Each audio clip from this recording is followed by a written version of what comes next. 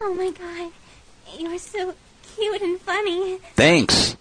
Can I crush your balls? Yeah.